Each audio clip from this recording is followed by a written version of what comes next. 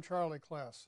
We're very fortunate to have a very special guest in an organization that has done wonders in our area, particularly in the Santa Cruz area. It's Save Our Shores. Save Our Shores is an older organization in the environmental world. With us is Laura Kasa, Executive Director of Save Our Shores. Welcome, Laura. Thank you. It's so nice to Good be to here. Good to have you here. I want to you. start and learn about the organization. Sure. Uh, when I said it's an older organization, what are we talking about? Over 30 years. We're 34 years old this year. 34 years. Mm-hmm. Uh, I, I imagine there are a few that, that are that old. I think Our Bay might be, Mm-hmm. but uh, it's still a relatively new world. Is this true?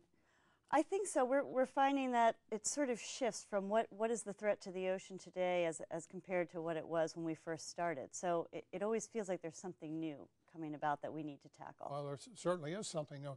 What is your keynote? What's your key your, your, to everything?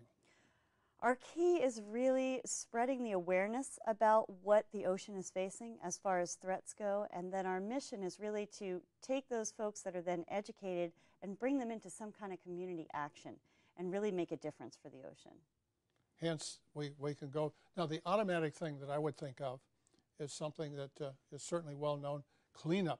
Cleanup at the beach, uh, cleanup in different areas, and so forth. Right. But since I've been talking with you, I learned there's a lot more to the organization.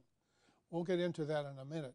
But I, I'd like to touch on just a couple of the other things, and we'll go back and talk later. Sure. Now, you had said something before the show that it didn't start with cleanup.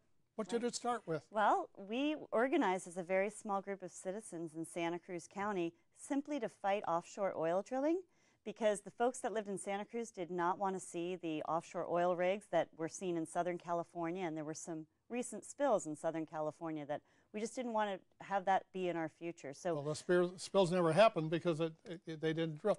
How was this orchestrated? How did it uh, put, to, put So, together? so it, it came about by the first executive director was Dan Hafley, and he was a one man show. He really just tried to get the, the community involved and support and get petitions signed in order to make sure that there was no way that, that they could drill off our coast.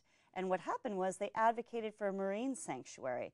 And now we do have the Monterey Bay National Marine Sanctuary, which means they'll never be able to drill there for So oil. So this was the way to prevent the oil rig. Oh, wonderful. exactly. But then we needed the sanctuary anyway. Yes, well, we have such a wonderful ecosystem here. We have species that are that are so rare and endangered, and we really wanted to protect that.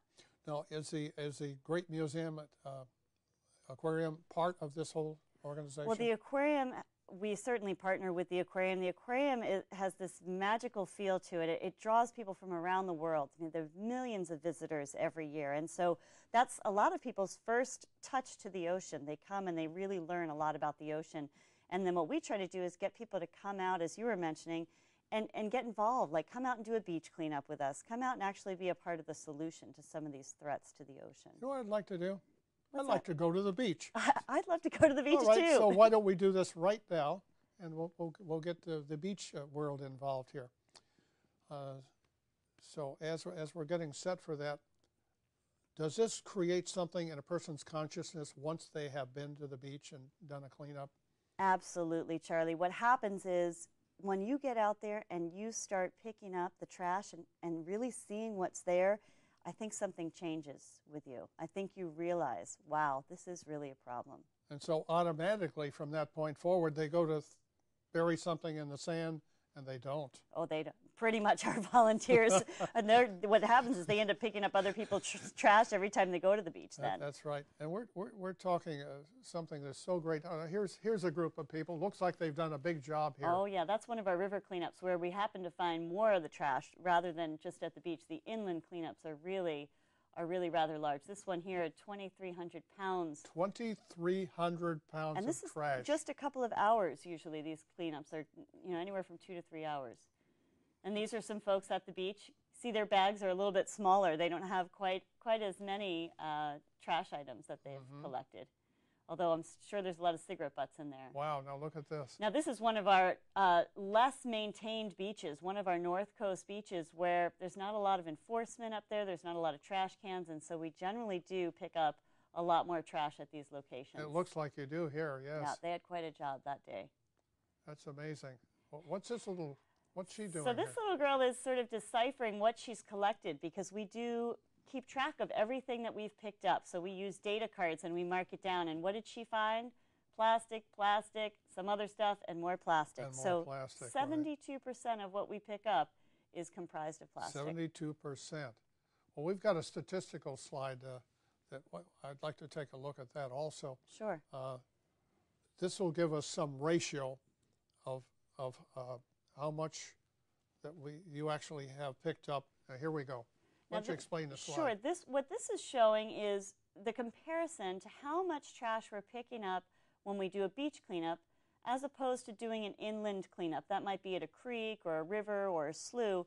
So the blue line is reflective of that inland cleanup, and you can see these bars are upwards of 300 or 400 pounds of trash per cleanup. Whereas for the beaches, it's, it's less than 100 generally. You're finding smaller pieces, more lightweight pieces that are on our beaches. And this is significant because everything that's in the rivers is flowing down to the ocean anyway. These could be shopping carts, these could be mattresses. We found just about everything Wow. in the rivers. Generally because it's a it's an area a lot of people aren't going to. So some people tend to dump trash there and then it's not found maybe for many years and our, and our volunteers are finding it and hauling you're- out. You're finding things that are rotting and so forth. Sure. Of course, if they totally disintegrate, that would be good, but they don't. Very few things are actually going to disintegrate. If it's paper material, it will, but but others most likely not. Yeah. So, okay, I want to go back to the consciousness of, of people.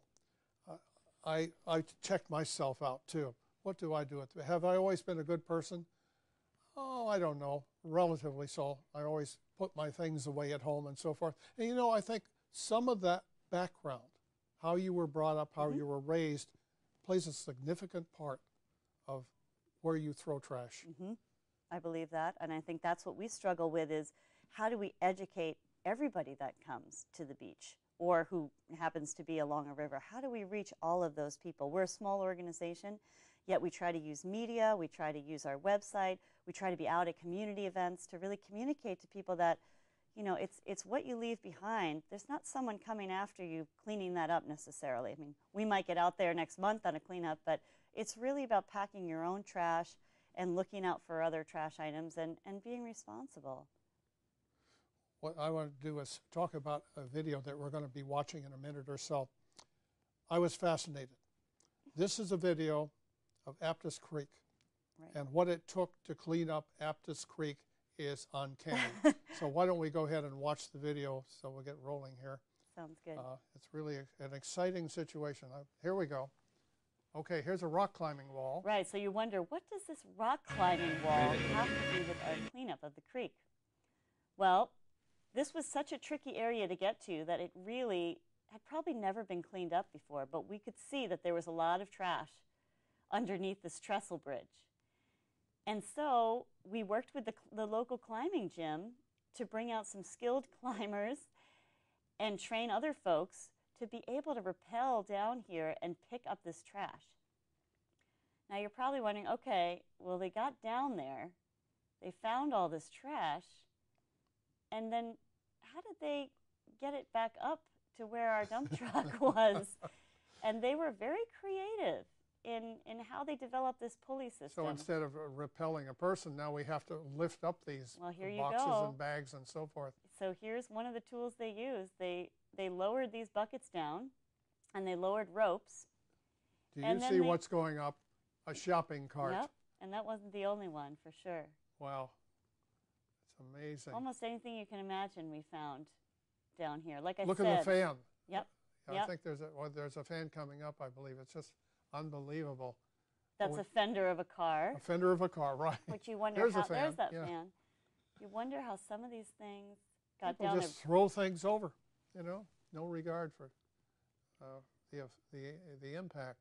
I must say this was the first time we did a cleanup like this, and we we never could have done it without the help of the of the climbers, and they also just had a great experience because this isn't generally how they spend their free time, but they learned a lot about the importance of of keeping everything maintained, of keeping our environment maintained. I think that was a bicycle coming up.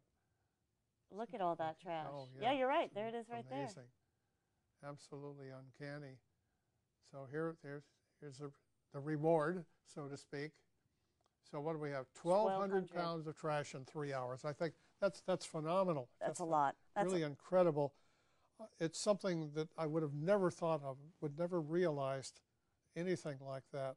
Because, you know, I always picture beach, beach, beach. Well, Right. there's a lot more to it because the rivers and streams flow right into the ocean and carry all this stuff basically to the ocean, which is what we're trying to prevent. Exactly. And that's where, by the rivers and by the creeks, that's where a lot of us live. And, and so, therefore, a lot of the trash ends up there, maybe more so than the beach. And the beach, there's more state park staff maybe there maintaining it and doing trash collection.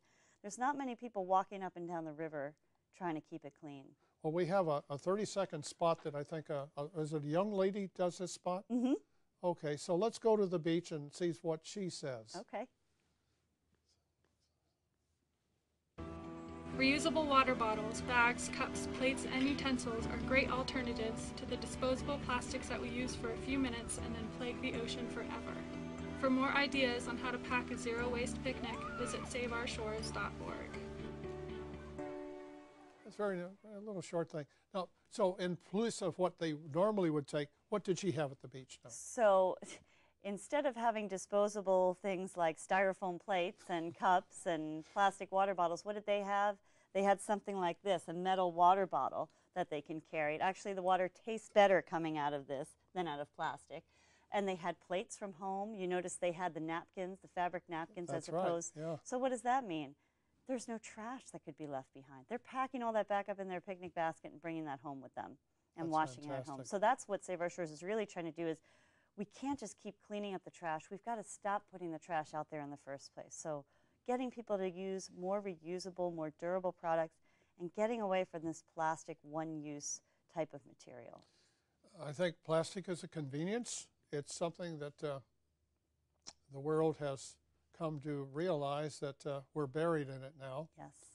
And plastic is, is such a, a dangerous item, isn't it? It is because it never goes away. And not only does it not ever go away, it can break into smaller pieces, and those are toxic pieces. I mean, plastic is made out of chemicals, right? It's petroleum based That- products. that's right. And our animals in the ocean don't know the difference between a, a plastic bag and a jellyfish and can easily eat that and, and Plastic suffocate. bags, which is an, an interesting thing, I think. Uh, there is something, a stat that, that you talked about that's almost unbelievable. In the United States of America, not Canada or anywhere else, there's 100 billion plastic bags per year we have, and only 14% of those ever get to where they really need to be taken care of. Well, actually, it's uh, it's not even five percent now of of, Oh, of the that are recycled. So that there's new reports that have come out, and really less than five percent of plastic bags are ever recycled. And when they are recycled, they have to be downcycled. So they're they're being made into maybe some park benches or things like that, but they can't be recycled into another re, you know reusable bag. yeah, that, you that can't sort of turn thing. them back into a bag again, Right, a clean bag. right, bag. Right. And what's probably nearly as bad are water bottles. Now, since we've been on the air, we did some computing here that I understand that every five minutes in the United States, two million water bottles are used. So we have about five million water bottles have been used and ready Just for in the time that we've just since we started the program. Right. And that's the one that uh, only about 14% of those water bottles Okay. are recycled. And so, again, where are all those other water bottles going?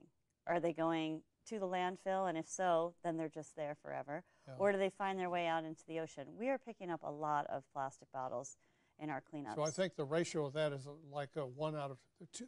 It's 50 billion or something like that per year, which is just to say this is one country. That's and right, and we're just looking at our numbers. So imagine it's a worldwide effort. And I know if, if I travel to South America and other countries, there's a lot of plastic water bottles, definitely. I don't know when it started, but I, I, I thought this is wonderful when we first got the water bottles. It makes it so Very convenient, and so forth. Very you know, convenient.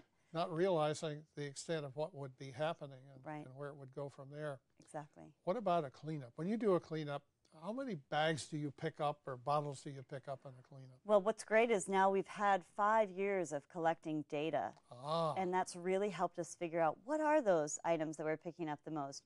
We've collected 34,000 plastic bags. That's an awful lot of plastic In, bags. in, in what period of time? In the five In years, five we've years. collected 34,000. We've collected 46,000 pieces of styrofoam. Now Oh, those, oh my God, that's another whole issue of styrofoam.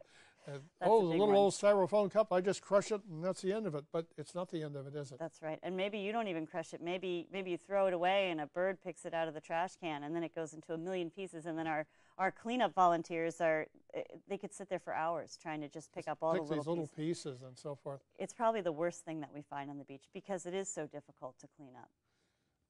What kind of volume are we dealing with here?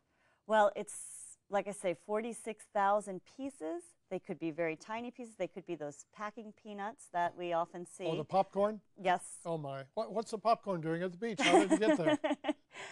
you wonder. You wonder how these things get there, but sometimes it would flow down from the street. You know, it, it could flow down a storm drain. It could somehow get out onto the beach, but they seem to be everywhere. I just saw a whole bunch of them today, and, and you wonder why are those getting there? One of the things they take to the beach is this nice, convenient, lightweight, uh, what, what are they called? Cooler, Chest? Or- yeah, or nice a cooler chest. chest. And of course, once the top gets damaged, then it's time to leave it somewhere. Exactly. Well, we've found more of those than ever on our July 4th holidays. So, up by the trash cans, you'll see these half beaten up uh, styrofoam coolers. And of course, the birds just love to go after that because they think there's still food in there. And then they're broken up into a lot of different pieces. They're not really a multi use cooler. But there is a nice option. There are reusable bags that are lined inside as a cooler, and they're only about six dollars. You can pick them up at Costco, as opposed to maybe five dollars for this styrofoam ice chest. So there are alternatives Okay, that people so could be uh, using. That's something I'd like to talk about. Let's let's get some more alter- alternatives to the plastic bag. Now, you said one thing. Well, we're moving in toward the stores, as you know, That's right. and I think eventually, will they disappear? Will the plastic bags disappear? I sure hope so, and I and I I know we're well on our way. So we have uh, City of San Jose has enacted their ban on plastic bags. They've done a great job with outreach. They have the buses in the city that actually have the messaging on the side of them, so that and they're being very diligent at at all of the stores that people have visited. You know, we don't have plastic bags anymore. I hope you brought your own bag. City of Santa Cruz, or I'm sorry, the County of Santa Cruz, their ban is going into effect in three weeks. So we're really excited oh, it's about that. almost here. hmm It's almost here. It's been two and a half years, though, since Save Our Shores started working with the county to make this happen. So it's not an overnight process, and that's why when you say, "Will we see the end of this?" Maybe not in our lifetimes. Oh my! But oh, that, I- that's scary. But Save Our Shores will just keep working harder and harder to get these cities to, to follow the lead of some of those first Now, cities. I was just going to say there must be some process here. Number one, the manufacturer said, "I have to leave that business because it's getting smaller and smaller." That's one. right, Two, uh, legislation ultimately right. is what stops it. Legislation is made by whom? Well, we can do it locally because the state of California tried to do this two years ago and it failed. We tried to have a statewide ban, which would have been easier for, say, the grocery stores because if you have a Safeway in one town and then in another, you'd rather just have it uniform that, hey, we don't use plastic bags in any of these stores. But it did fail. And so, what we've been forced to do is do it on a local level. So, we're working with the counties, we're working with city councils, and we are making it happen, hoping we can build enough support. We have about 21 jurisdictions now that have bans, and hopefully keep building that number and put the pressure on the state. How about Southern California? Are they un- involved in this? Yes, but there is a ban that was tried. It was put, being put in place in Los Angeles County, and they got sued. They're getting sued by, the, we believe, the manufacturers of these plastic bags, who certainly don't want to see themselves put out of business. Well, you know, but ultimately people have to go into other businesses. Yes, and there are alternatives.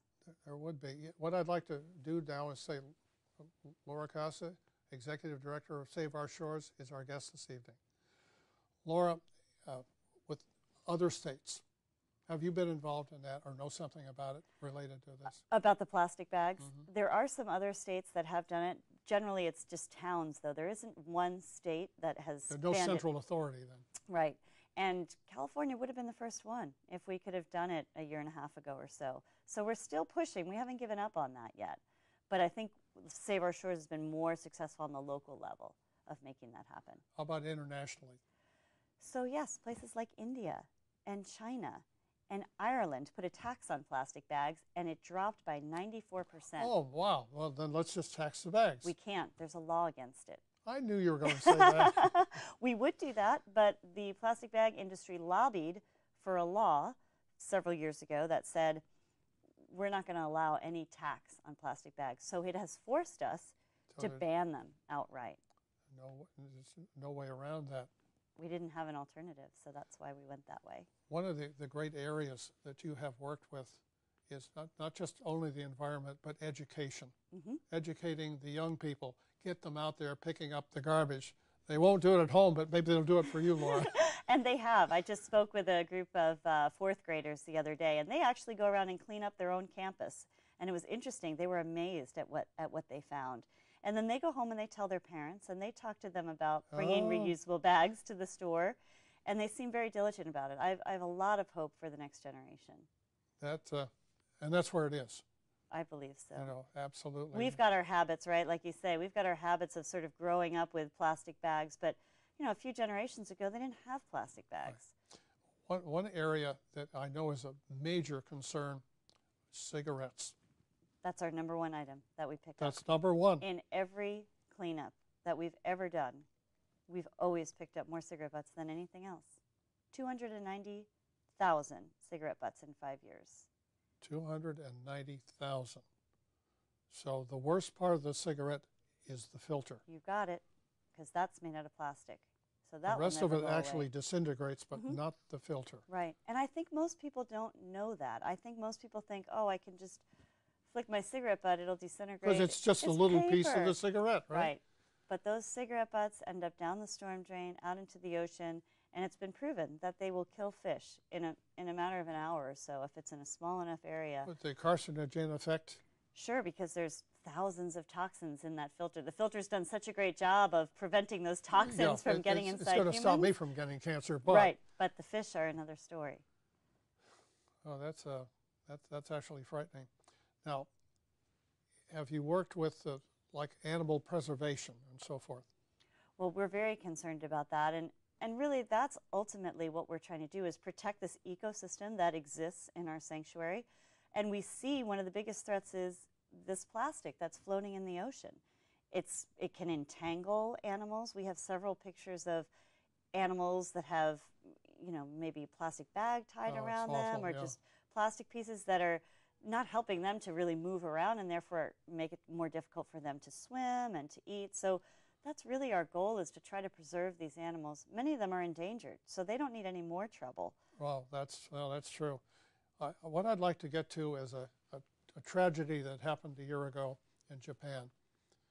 And I think this is a, a very dramatic thing where we're going to be receiving hundreds of tons of debris. So we have some slides that we're going to bring up related to that.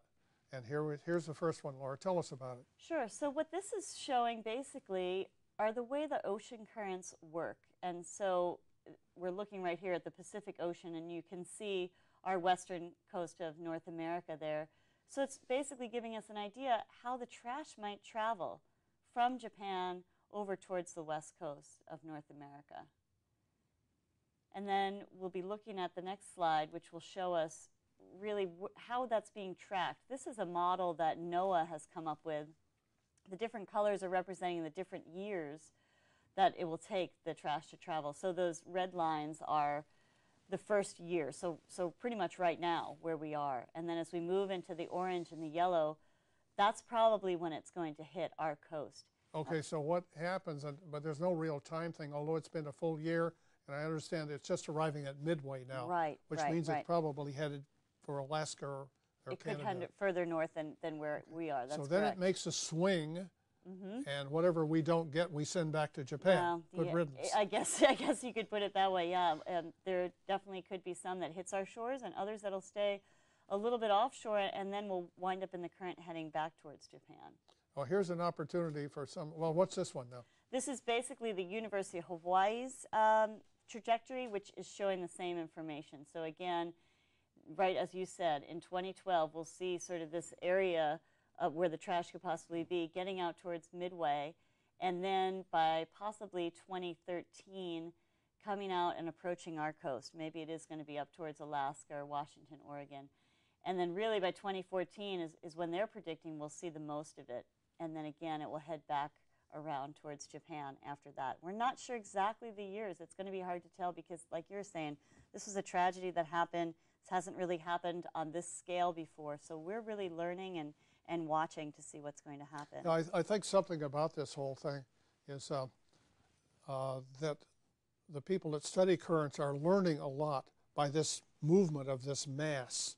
Absolutely. So this is a, you know, it's not a, a positive thing, but you get what you can out of it. Right. Because this may, I hate to say this, may not be the last time something like, like this happens. That's happens, true. you And know. so, and it's, and they're trying to figure out how much of the trash really will arrive on our shores. A lot of it sank as soon as it got on. Well, automobiles or whatever. Sure. yeah. I mean, you're not going to find houses floating across the Pacific Ocean, so nobody should run out there and try to get some oceanfront property when, when this trash lands here. But what may happen is some of that debris may come a lot sooner than others, depending on the winds, depending on the type of material that it is. So all of that's uncertain, and we're looking to, to really understand how the currents work Mm-hmm. once that trash arrives. Well, how many volunteers do you have on your on your rolls? We are fortunate enough to have 10,000 volunteers a year. thousand a year.